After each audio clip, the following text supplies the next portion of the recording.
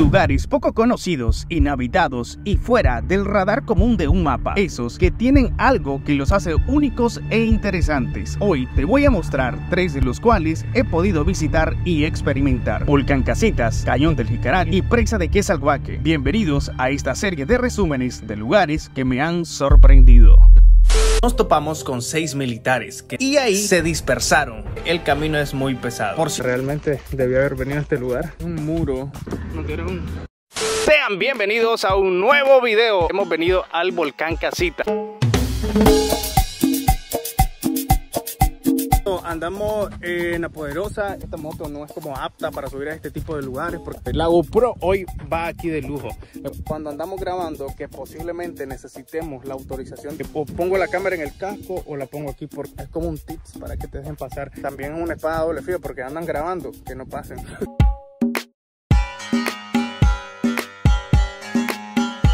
dejamos la moto en una casa por ahí atrás, como a 100 metros. No quise grabar porque había gente del ejército, no sé si no iba a grabar, pues que estuviera grabando por ahí. Nos toca caminar un montón para allá. Y se supone que hay como un pequeño mirador donde podemos apreciar el panorama. Y cuando dije un montón, en realidad no estaba ni siquiera consciente de lo que venía. Y cuando dije un pequeño mirador, estaba en lo correcto, porque eso era lo único pequeño a lo que nos enfrentaríamos. Los meto en contexto. En el sitio donde dejé la moto nos topamos con seis militares que también estaban a punto de subir. Ellos nos indicaron hasta dónde teníamos permiso para pasar hasta el mirador, ya que la punta del volcán está resguardada por ellos mismos. Tienen una base comando que cuida todas las antenas de las televisoras nacionales y las antenas de comunicación del ejército y la policía. Cuando llegamos con un punto como este, pensar realmente debía haber venido a este lugar. Está inclinado y se ve plano, pero la cámara no puede apreciar lo complicado que se viene ahorita. Esta es una de las aventuras más cansadas que he tenido. Tres horas y media más o menos. Bueno señores, hemos llegado al mirador del volcán Casita. Es como una especie de mirador. Se ve todito desde acá arriba y por allá a mis espaldas está el volcán San Cristóbal. Miren qué cerquita se ve. Esta es la parte como más bonita para venir a sacar fotos, para venir a dar una vuelta. Por allá está una vaca y una fumarola que nos enseñaron que estaba por aquí. Vamos a ir a grabar. la foto la voy a subir por ahí en Instagram para que me sigan y vayan a ver todas las bonitas fotos que sacamos por acá. No sé si logran apreciar, pero aquí sale humo.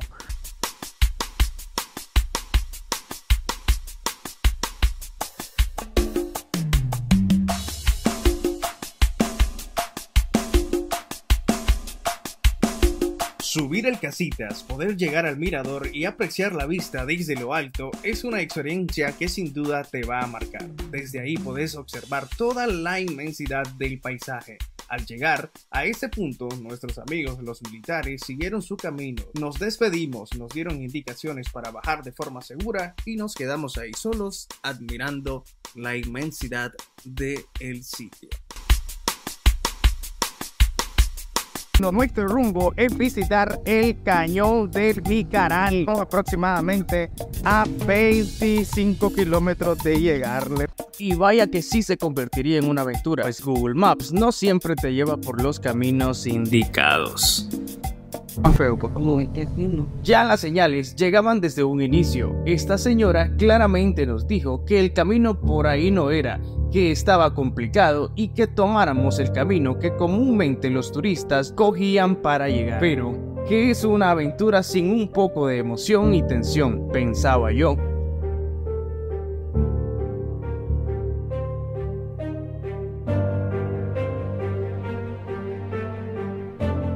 Por este camino las cosas se complican, ya que está en construcción una futura carretera, nada del otro mundo, pero esto para que lo tengan en cuenta, a la fecha que grabamos este video está bastante larga la finalización. Mientras avanzábamos cada vez más nos encontrábamos con gente local en las cuales nos intentábamos orientar para ver si en realidad esta era la ruta, porque a pesar que el mapa me decía que sí, yo tenía una espinita. Al momento de preguntar, nos dábamos cuenta que el sitio era poco o no conocido por esos lados.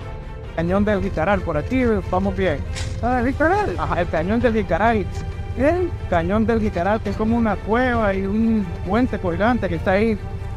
No, no conoce. Muy bien aquí. No, para aquí. Para aquí no hay cuenta para ir. Volver que caen por la tema y ya por ahí porque también le tomo yo no canto de puente por tanto de ir. Muchísimas gracias. Bueno, A pesar de las buenas intenciones para guiarnos, fue un poco confuso acatar las indicaciones, pero algo nos decía que el camino era por ahí. Cerca había una casa. Fui y preguntamos a unos señores que si podíamos pasar. Buenas. Vamos mierda, mierda. Pero el mapa nos tira ahí por ese portón.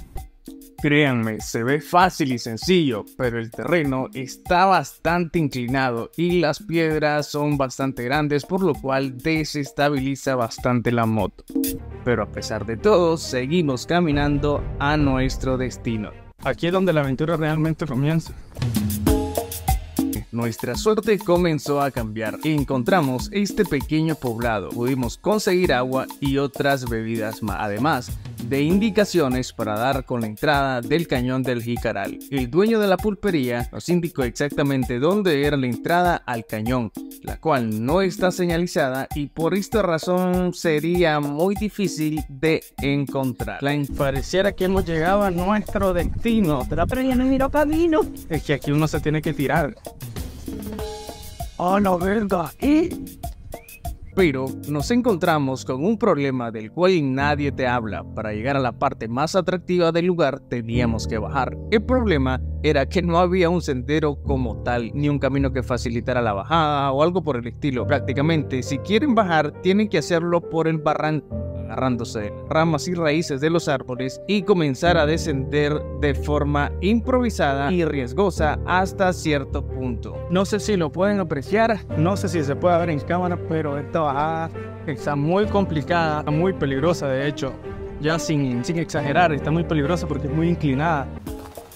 Este riesgo que estamos tomando lo vale. Y vaya, que sí lo valen, pues descender por este barranco realmente fue muy complicado. En realidad no existe una forma como bajar, al menos no una forma segura u organizada. Nos fuimos agarrando de las ramas de los árboles hasta llegar al fondo en donde realmente sí valía la pena pues habían unas hermosas vistas, la verdad sí lo valió.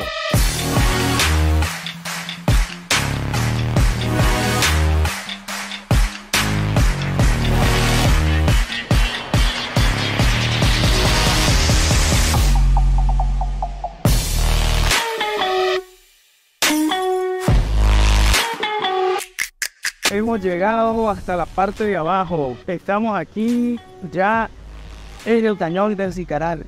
Esta es la cueva que estuvimos viendo en redes sociales, la cueva que, que se veía gigantesca está bastante bonita. Qué tuani poder hacer un camping aquí, quedarse en esta parte plana donde no caería lluvia. No sé si llega el agua hasta aquí arriba, si o algo se tapa, pero qué bonito hacer un camping aquí en esta parte acaba de pasar una moto y se detuvo algo medio raro así aquí frecuentemente asaltan. ¡Ahí viene! en realidad no sé si esto es una buena idea pero ahí vamos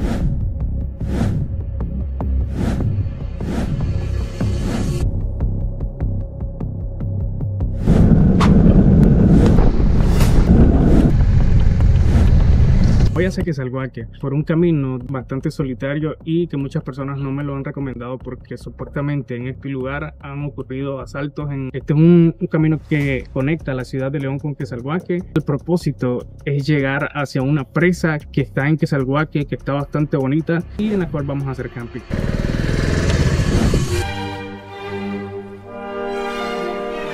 Voy muy paranoico, ¿saben por qué? Porque me han contado cosas de este camino, que aquí frecuentemente asaltan y además de eso voy con la idea de la llanta trasera. Resulta que esta llanta es la misma que se me dañó cuando visité el Tour Flor de Caña, anda dañada, por eso al inicio les dije que no sé si esto era una buena idea. Quiero confiar en que la llanta va a resistir, que el camino no está tan mal. Hasta el momento el camino desde León, estos primeros dos kilómetros, algo así, están adoquinados, hay mucha gente transitando, hay muchas vacas. Especialmente aquí se termina el camino de adoquinado comienza el camino de tierra. Comienza el off-road.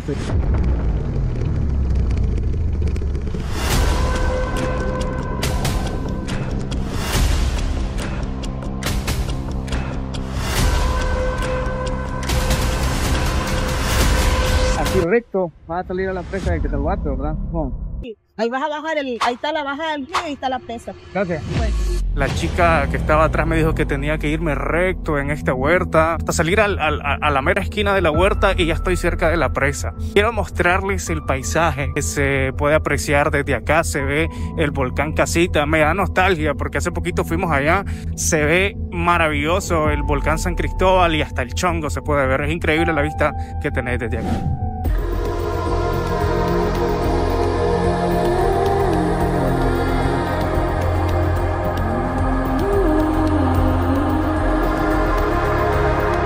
Quiero estar mucho tiempo por acá solo, por la mala reputación que tiene. Acaba de pasar una moto y no sé, se detuvo algo medio raro, así que prefiero irme y viene una más allá adelante. Así que evitémoslo, caminemos mejor y grabamos más adelante.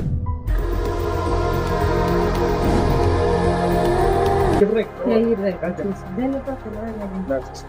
Ah, pero ¿cómo es que hace Álvaro? Porque Álvaro pasa viajando mucho, de seguro tiene dinero. Esto es lo que vamos a hacer. Ando algo para un café, hacer un café ahí donde me siente. Traje cosas para hacer el café, un quesito, ando una taza y el café no lo vamos a comer con esta galleta. Eso es todo. Porque te voy a mentir y te voy a decir de que traje carne especial esta vez. Sí hemos traído, sí hemos andado en algunos viajes, pero hoy no. Venimos escasos de recursos. Nos vamos a mojar.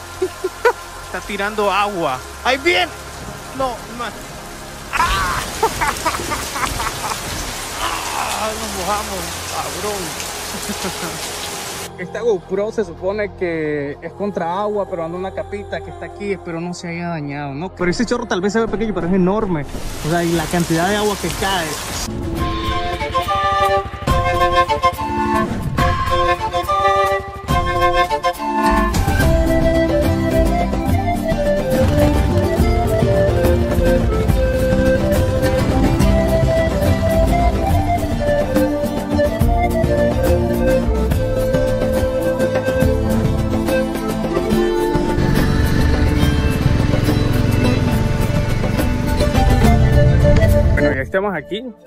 La pero antes de continuar mostrándoles el lugar, quiero contarles un poco de la historia que encontré y pude recopilar de esta presa de Quesalhuaque.